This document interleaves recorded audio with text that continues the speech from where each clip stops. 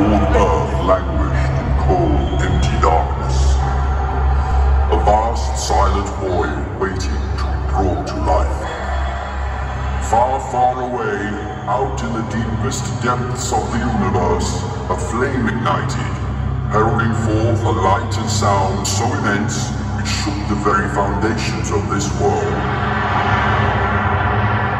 The forge of fire was primed, molten steel poured forth, creating unimaginable power, gigantic, indestructible power, giving humanity hope and faith, a faith born to defend for all eternity.